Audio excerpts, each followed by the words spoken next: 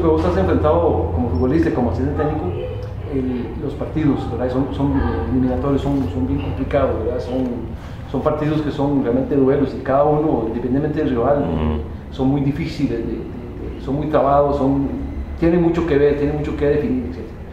¿Cómo se juegan esos partidos para salir victoriosos?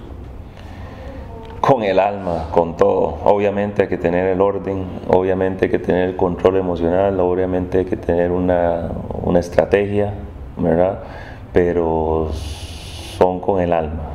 Eh, en los partidos amistosos, por ejemplo, hay espacio a veces para jugar y, hacer un fútbol vistoso y todo. Después llega la eliminatoria y por eso empiezan las críticas. Ah, es que la selección no juega bien. Sí, ganaron, pero no juegan bien, es porque es que la eliminatoria es así.